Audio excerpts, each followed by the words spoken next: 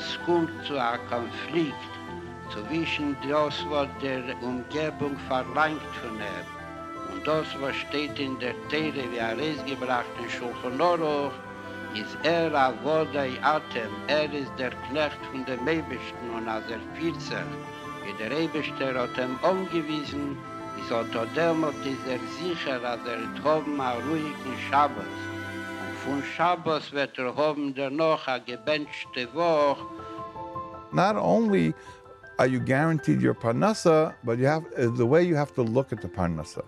You can make less parnasa and spend it on good things than make more parnasa and God forbid have to spend it on bad things, like for health and so on and so forth.